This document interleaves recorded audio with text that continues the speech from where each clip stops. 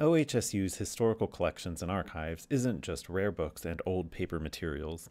We also have digital materials in our online digital collections, located at digitalcollections.ohsu.edu. I'm Steve Duckworth, OHSU's University Archivist. Let's take a quick tour of these resources. This is the main page for OHSU's digital collections, and many of the HC&A materials can be accessed from right here. Our oral history program has been running since 1997 and includes over 130 interview transcripts. The focus of the collection is OHSU's institutional history, but participants discuss a wide variety of other topics as well, including information on changes in health sciences practices and in the Portland region throughout much of the 20th century and into the 21st. Clicking on the main Historical Collections and Archives link will return results that include most of the materials in our online collections.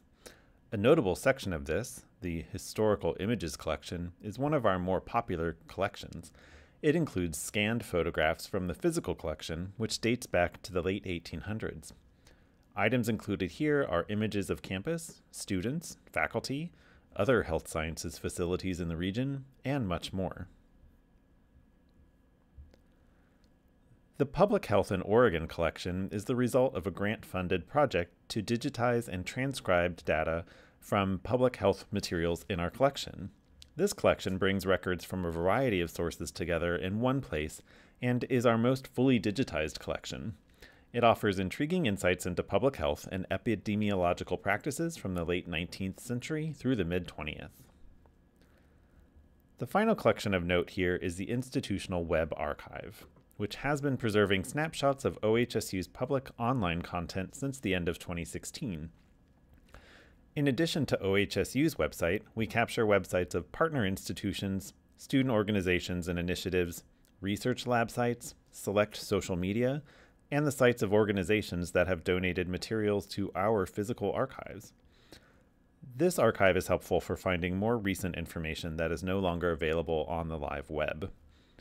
The web archive is hosted by the Internet Archive and, as such, has a different structure and different functions than the other digital collections. You can search by keyword across all saved sites via the main landing page, or you can explore one of the four larger collections by clicking into them. While the Internet Archive is working to increase the usefulness of the search functionality, it can still be complicated to navigate. Please contact us for help as needed with Web Archives materials. Let's head back to OHSU's repository and explore the search options. From the main page, you can do keyword searching across all digital materials. For example, if I search on the term anatomy, I get 488 results, which includes images, theses and dissertations, articles, books, and more. You can use the facets or filters in the menu on the left to narrow down these results by date, resource type, creator, or collection, as well as a number of other options. You can also sort these results by relevance or date uploaded via the dropdown at the top of the results list. Some collections, such as the Public Health in Oregon collection, offer the option to search just within that collection. This isn't an option for all collections, but narrowing results via the facets after a general search should bring about the same effect. This covers the basics for searching OHSU's digital collections. For assistance in your own research, contact us via the OHSU Library's Contact Us form at ohsu.libanswers.com or via email at hcaref at ohsu.edu.